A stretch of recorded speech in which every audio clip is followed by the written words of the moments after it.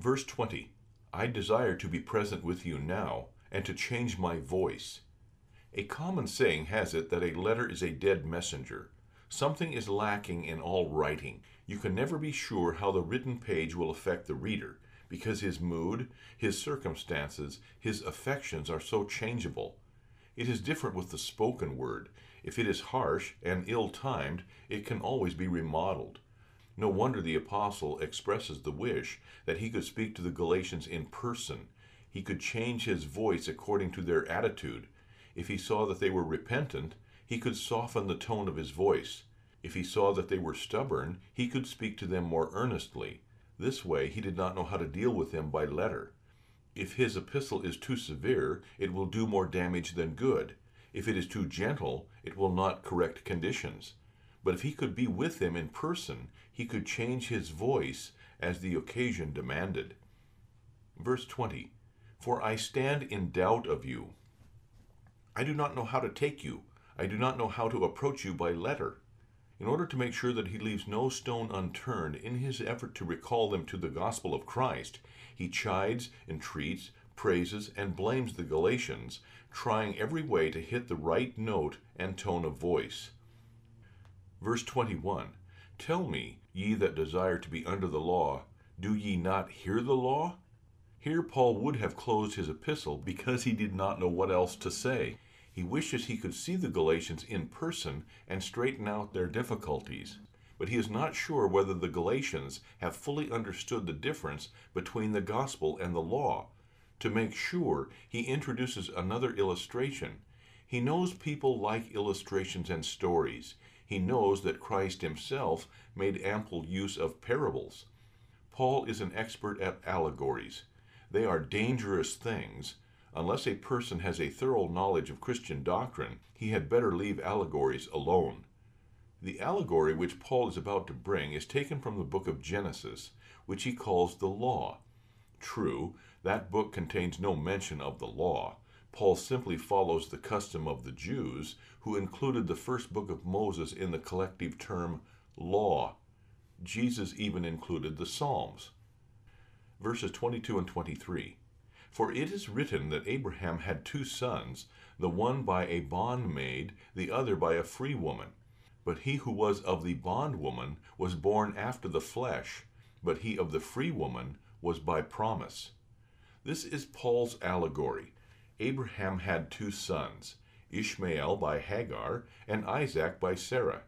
They were both the true sons of Abraham, with this difference that Ishmael was born after the flesh, i.e., without the commandment and promise of God, while Isaac was born according to the promise. With the permission of Sarah, Abraham took Hagar, Sarah's bondwoman, to wife. Sarah knew that God had promised to make her husband Abraham the father of a nation, and she hoped that she would be the mother of this promised nation. But with the passage of the years, her hope died out. In order that the promise of God should not be annulled by her barrenness, this holy woman resigned her right and honor to her maid. This was no easy thing for her to do. She abased herself. She thought, God is no liar. What he has promised he will perform. But perhaps God does not want me to be the mother of Abraham's posterity. Perhaps he prefers Hagar for the honor. Ishmael was thus born without a special word or promise of God, at the mere request of Sarah. God did not command Abraham to take Hagar, nor did God promise to bless the coalition.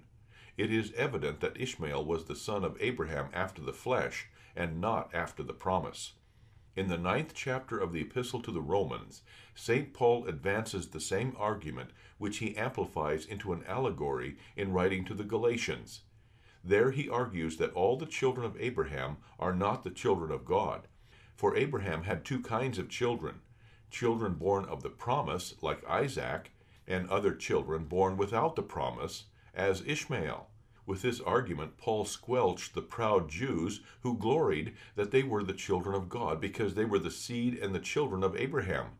Paul makes it clear enough that it takes more than an Abrahamic pedigree to be a child of God. To be a child of God requires faith in Christ. Verse 24 Which things are an allegory. Allegories are not very convincing, but like pictures, they visualize a matter. If Paul had not brought in advance indisputable arguments for the righteousness of faith over against the righteousness of works, this allegory would do little good. Having first fortified his case with invincible arguments, he can afford to inject this allegory to add impressiveness and beauty to his presentation. Verses 24 and 25. For these are the two covenants, the one from Mount Sinai, which gendereth to bondage, which is Agar. For this Agar is Mount Sinai in Arabia. In this allegory, Abraham represents God. Abraham had two sons, born respectively of Hagar and Sarah. The two women represent the two testaments. The Old Testament is Mount Sinai, the bondwoman Hagar. The Arabians call Mount Sinai Agar. It may be that the similarity of these two names gave Paul his idea for this allegory. As Hagar bore Abraham a son who was not an heir but a servant, so Sinai, the law, the allegorical Hagar, bore God a carnal and servile people of the law without promise. The law has a promise, but it is a conditional promise, depending upon whether people fulfill the law. The Jews regarded the conditional promises of the law as if they were unconditional.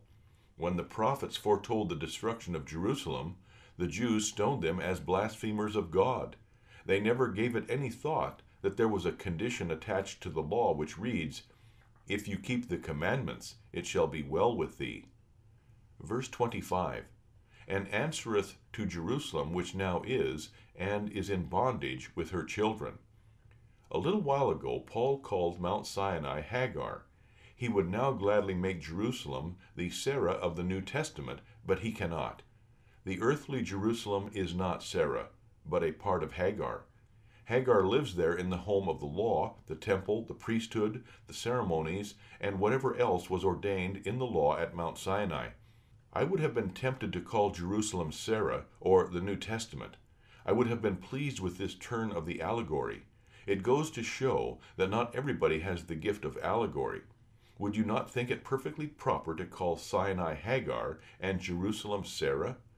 True, Paul does call Sarah Jerusalem, but he has the spiritual and heavenly Jerusalem in mind, not the earthly Jerusalem. Sarah represents that spiritual Jerusalem where there is no law, but only the promise, and where the inhabitants are free.